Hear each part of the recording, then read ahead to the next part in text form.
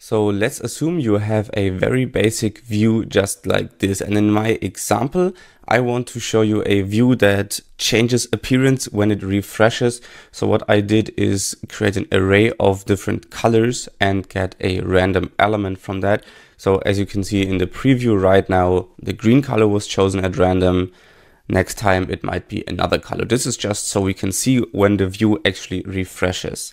So why would you want to refresh a view? Usually in SwiftUI, everything automatically refreshes when you're using state variables that are being used in your view's body. But as you can see in this example, there aren't any state variables used in the view body because we don't have any use case for that. Now, of course, you could refactor this, and in this example, it would be totally fine to, for example, move out this piece of logic into a state variable and if we want to change the background, we just change that state variable, which is, for example, a color. Now, in some other cases, this might not be possible because we don't just want to use the click of a button. An example would be where we want to refresh the view when the app um, enters the foreground again. So if the app was running in the background, now it enters the foreground again, you want to refresh the view's content. Might not be so easy using state variables that somehow reflect the state of the view. So let me show you another way of refreshing the view. And just to prove my point, I have a refresh view button down here. And when I click it, nothing happens. So it does not refresh our UI. What can we do? So first of all, let's introduce a state variable that's called internal state. You can call this whatever you want. We will not be using this for anything inside of our UI. Even with this state variable, the button still does nothing. The view is not refreshed. So you might think, okay, now I have a state. So I can just say internal state plus equals one. So just increase or change the internal state. Refresh view still doesn't do anything. Why is that?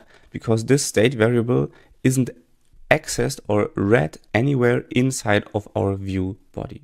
It is being written to inside of the button closure but it is not used inside of the body um, in any other way. So uh, one example would be to not use a random element here and instead use the internal state as an index for the color. Now if we refresh the view, now it will get refreshed because of course we are reading our internal state state variable. But as I said, we don't want to do that.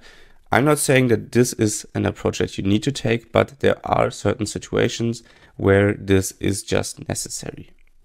So how can we make this refresh view button work without actually reading the internal state? Well, technically we can't, but there's a modifier that basically does nothing in quotation marks. It creates an identifier for this VStack which means, and if you know something about the SwiftUI layout system, then this will be pretty obvious to you. Otherwise, let me give you a quick rundown. So SwiftUI compares the identifiers of views to know if they changed. And this identifier is usually um, computed within the SwiftUI framework, but we can also give an explicit identifier to a view, which in this case is a VStack of a color and a button by using the .id modifier. And as our ID, you guessed it, we will just be using our internal state. What does this mean? It means that when this view is first drawn, it has the ID of zero.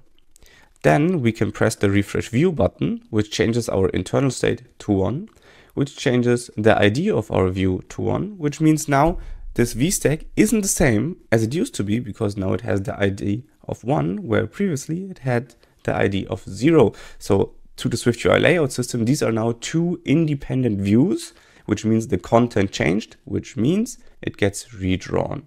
So if we now click the refresh view button, you will see it gets redrawn and I visualize that through just changing the color with this random array.